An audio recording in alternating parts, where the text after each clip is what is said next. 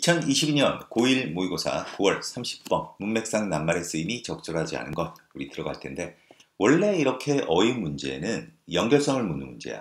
그래서 원래는 빈칸 문제가 굉장히 잘 나온다.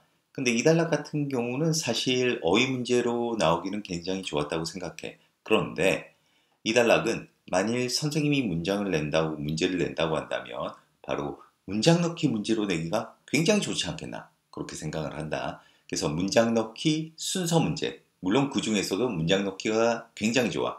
그래서 문장 넣기에 이제 단서가 되는 부분 선생님이 이렇게 파란색으로 표시를 해놨다. 자, 그러면서 이 파란색 부분에 대시 굉장히 많이 나오지. 바로 이 지시사. 이 지시사가 무엇을 가리키는지 앞문장에서 그거를 완벽하게 너희가 정리를 해서 뭐 어떤 식으로 문제가 나오더라도 대처할 수 있도록 어쨌든 전체적인 이 문장의 흐름 잘 파악을 해야 되는데 자, 이 30번 같은 경우는 이 흐름 파악을 어떻게 해야 되냐면 이 말 그대로 이런 그 대명사, 그 다음에 지시사 이런 것들이 앞에 어떤 문장을 가리키고 있는지를 완벽하게 너희가 파악하고 있어야지 아마 그런 문제 나갔을 때 잘 대처할 수 있을 거다. 자, 그러면 일단 한번 들어가 보겠습니다. 자, 먼저 이 단락에서 하고 싶은 얘기는 그렇게 어렵지 않아. 핵심이 되는 얘기는 바로 그 핑크색 부분이다. 핑크색 부분. 벌써 첫 번째 문장에서 어떤 일반적으로 사람들이 믿는 어떤 사회적인 통념을 먼저 제시를 하는 거야. 사회적 통념이라고 하면 일반적으로 생각하는 사람들의 생각인데 그게 틀렸다는 거지. 자, 그러면 일단 들어가 볼게. 그것은 널리 믿어집니다. 자, 여기서 이거는 가져오진 주어다. 자, 뭐가 널리 믿어지고 있느냐? 어떤 특정 허브가, 그러니까 특정 약초지 약초, 특정 허브가 다소 마법과 같이 특정 장기의 어떤 작업을 그 개선시킨다라고 믿어집니다. 그래서 특정한 질병을 그 결과 치료한다고 믿어집니다. 이렇게 되겠네. 요 end는 어디 병렬이니? 바로 improve. 그 다음, 그 다음 cure. 이렇게 병렬인 거야. 그러니까 특정한 허브가 우리 몸 안에 있는 어떤 장기의 기능을 개선시켜서 궁극적으로 질병을 치료한다라고 아주 널리 믿어지고 있다는 거지. 많은 사람들이 믿고 있다는 거다. 근데 이게 사회적 통념이라는 거야. 바로 그 다음 문장이 나오잖니. 근데 그러한 진술들, 이런 게 이제 단서란 말이야. 바로 그러한 진술들은 unscientific, 비과학적이고 그리고 groundless, 근거가 없습니다. 그럼 이 단락은 뭘 하고 싶은 얘기지? 약초가 효과가 있다라고 많은 사람들이 생각하는데 사실 효과 없다. 이 얘기를 하는 거야, 이 단락에서. 자, 그러면서 어떤 식으로 이제 전개해 나가는지 계속 한번 내용을 보자. 때때로 허브는 잘 작동하는 것처럼 보입니다. 이거는 효과가 있는 것처럼 보입니다. 해놓고 since는 부사절로 왜냐하면 이유를 나타내지. 자, 왜냐하면 since는 끝까지 간다. 그들이 당신의 혈액 순환을 증가시키는 경향이 있기 때문입니다. 어떻게? An aggressive attempt. 어떤 적극적인 그런 적극적 시도 속에서 뭐에 의해서 이렇게 혈액을 증가시키느냐? 바로 너의 몸에 의해. 그런데 이 투부 부정사는 body 밑에 들러붙는 형용사적 용법이지. 어떤 몸이야? 바로 그것들을 제거하려는 너의 시스템으로부터 이 얘기는 너의 몸으로부터 그것들을 제거하려는 너의 몸에 의해 아주 적극적인 그 시도 속에서 너의 혈액 순환을 증가시키는 경향이 있기 때문에 이 허브가 아 효과가 있는 것처럼 보인다라고 여기게 된다는 거야. 그지? 자 그럼 여기서 이제 대명사 그것들을 제거한다라고 했는데 여기서 그것들은 뭐야? 그것들이 바로 허브지 허브.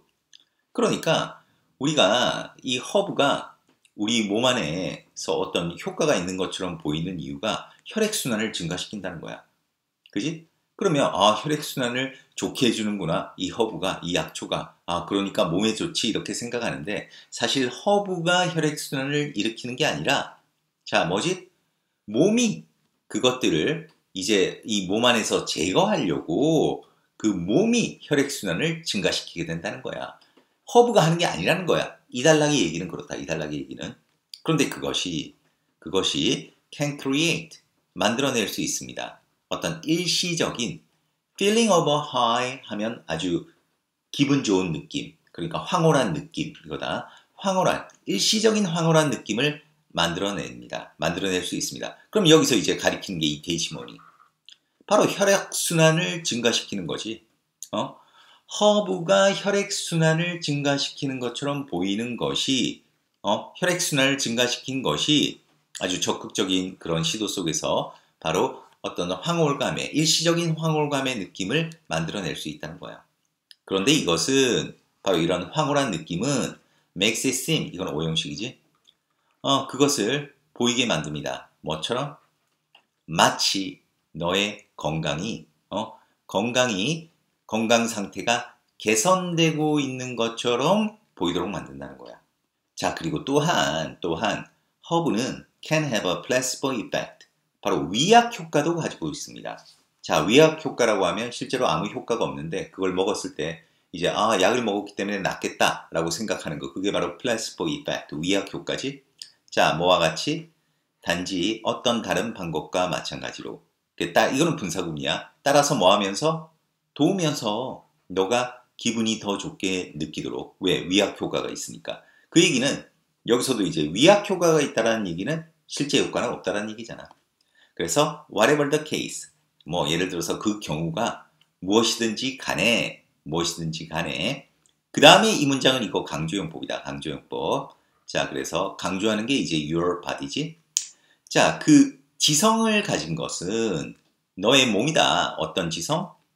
건강을 다시 되찾, 되찾을 그 지성을 가지고 있는 것은 그러니까 건강을 다시 되찾게 해주는 그 지성을 가지고 있는 것이 너의 몸이다. 뭐가 아니라 허브가 아니라 이 얘기는 너의 건강을 되찾게 해주는 거는 네 몸이 되찾게 하는 거지 허브가 그렇게 만드는 건 아니라는 거야. 계속 그 얘기잖아. 허브는 효과가 있는 게 아니라는 거. 자 어떻게 허브가 어, have the intelligence 지성을 가질 수 있겠니? 해놓고 지성 밑에 이제 PP 형용사가 들러붙지 어떤 지성 필요되어지는 자, 뭐 하기 위해? 너의 몸을, 너의 몸을 더 건강하도록, 더 건강하도록 이끄는데 필요되어지는 그런 지성을 허브가 가질 수 있겠냐. 그러니까 허브는 그런 지성 가질 수 없다. 어? 네 건강을 회복시켜주는 지성을 가진 거는 몸이다 이 얘기야. 그러니까 that is impossible. 그거 불가능하다. 어? 허브가 지성 가지는 것은. 자, 그러니까 try to imagine. 상상하려고 한번 애써라. 뭐를? 어떻게 허브가 너의 몸 안에 들어와서, 응? 그리고 아주 지성적으로 너의 문제를 해결하는지를 한번 상상하려고 해써봐라. If you try to do that, 만약 네가 그것을 하려고 애쓴다면 여기서 그것 바로 앞 문장에 있는 것을 상상하려고 애쓴다면 you will see 너는 알게 될 거야. 그것이 얼마나 불가능한 것처럼 보이는지 알게 될 거라는 거지. 그러니까 허브가 어떤 지성을 가지고 있다라고 하는 것은 절대 불가능한 일이라는 거지. 그러면서 그 다음에 뭐가 나오느냐? otherwise. 그렇지 않다면. 여기서 그렇지 않다면 그러니까 무슨 뜻이니? 만약 허브가 지성을 가지고 있다면 이거지. It would mean. 그것은 의미할 것입니다. 허브가. 자, 허브가 지성을 가지고 있다면 뭐야? 인간의 몸보다 더 많은 지성을 가지고 있다는 것일 겁니다. 바로 more이 돼야 되겠네. more이. 자, 그런데 이것은 이 which는 앞문장이야. 그런데 이렇게 지성, 허브가 더 많은 지성을 가지고 있다는 것은 진실로 믿기 어려운 것입니다. 어, 이렇게 마무리가 된다고 하겠다. 자, 말 그대로 뭐 이 30번의 주제는 그렇게 어렵지 않았지. 주제는 말 그대로 얘기야. 허브가 어, 우리의 몸을 치유할 그런 지성을 가지고 있냐 이런데 그런 지성 없다는 거야. 그 얘기를 그냥 쭉 하고 있는 거야. 그 똑같은 얘기를 그 얘기를 이제 풀어가지고 계속 하고 있는데 아까 서대에서 언급했다시피 이 문제는 이 단락은 만일 변형 문제 나온다고 하면 사실 지금 어휘 문제로 나왔기 때문에 어휘 문제로 나왔기 때문에 우리 순서와 문장 넣기가 좋지 않겠나. 그런데 순서 문제는 나 같으면 안낼것 같아.